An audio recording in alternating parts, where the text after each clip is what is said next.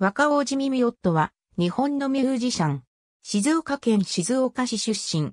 1989年から1990年まで、電気グルーブのメンバーとして在籍。在籍時は、ギターとストリングスを担当した。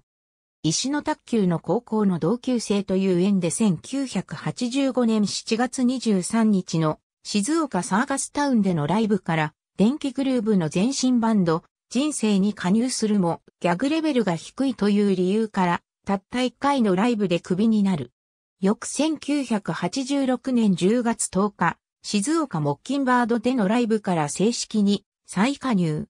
その後、一浪して東京国際大学に進学し、1987年春から活動の拠点を東京に移す。また大学では劇団健康に所属していた三宅博市場や筋肉少女隊の大月も横と知り合う。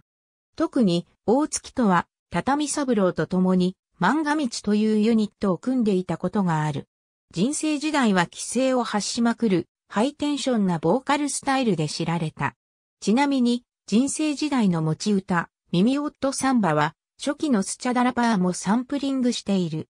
1989年4月、人生解散を記念したラストツアー、オババ崩御、さよならオババツアーに参加。その後、石野に誘われて、初台駅近くにあるデニーズ日清塾店で、電気グルーブを結成する。しかし、同年8月20日に、大阪13ファンダンゴで行われたデビューライブには、交通事故のため出演できず、1989年12月7日の新宿ロフトでの東京発ライブ DG ナンバーワンから音楽活動を再開するが、1990年5月7日の新宿サウンドハウスでの公演終了後、プログラミング担当の高橋豚尾と共に電気グルーブを脱退した。電気グルーブのメンバーとして作品への参加は、初期の代表曲、電気ビリビリ、We Are NO の原曲を収録したインディーズファーストアルバム 662bpm by DG までとなる。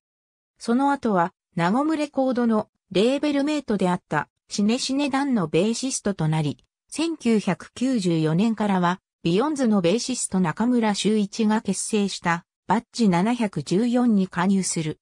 2003年からは松田武二の首スモグラフェコ5に330耳を名義でギタリストとして在籍していたが、2009年8月23日のライブを最後に脱退する。以降の活動状況は不明。